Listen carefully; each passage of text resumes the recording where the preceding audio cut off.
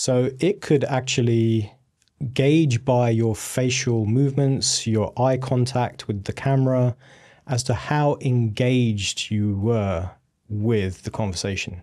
And it would actually score you.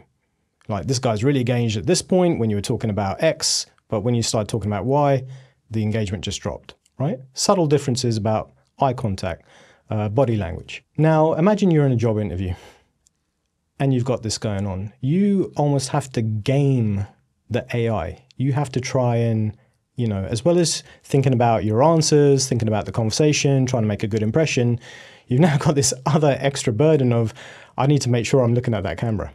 I need to make sure I'm engaged all the time. I need to game the AI that's scoping me out and potentially could influence the outcome of, of this interview.